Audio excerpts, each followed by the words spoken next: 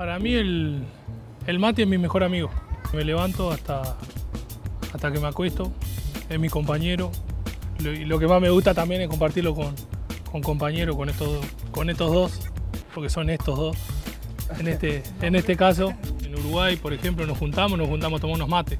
Como ustedes, el café Costumbre nuestra. eh, es una costumbre de nosotros, prácticamente. eh, Y nosotros también, o sea, los argentinos también toman mate todos los días, ¿viste? Se levantan a la mañana, lo preparan todo, antes de entrenar, después de entrenar.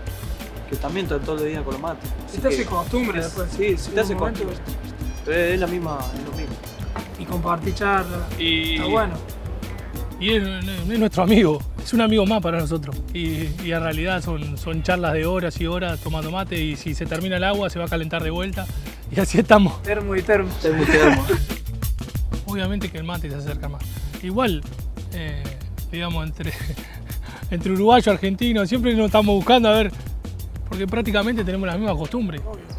Creo que sí, que ayuda. Eh, aparte, digo, tengo que decir, algunos, por ejemplo yo, que es la primera vez que, salgo del país, eh, también importante, apenas llegué, Diego me recibió bien. Bueno, creamos una amistad linda, igual que a Cristian, yo por ejemplo, a Cristian ya lo conocía de, Argentina, compartimos eh, en taller eh, equipo también, y también creo que él, estar con nosotros dos también le ayudó a sentirse bien y cómodo y creo que formamos una, una buena amistad y ojalá que, que dure para, para mucho tiempo, ¿no? Que yo creo que sí, porque nos llevamos muy bien. Espero, espero que siga pendiente la cita del, del casamiento. Sí, cómo no. En casa Diego ahora. Se casa Diego el 2020, Sin mate. que lo- nos invitó a nosotros. Tenemos- mate. Sin mate, dijo. No, ahí va a haber otra cosa. Digamos, un mate es sinónimo también de, de, de- de compañerismo, de, de amistad.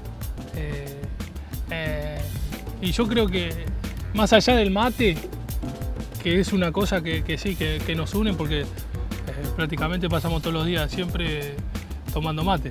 Eh, pero es algo que, que ya entre, entre uruguayo y argentino ya nos buscamos, ya, ya prácticamente, porque las costumbres son las mismas. Cuando nos juntamos a comer, ¿qué comemos?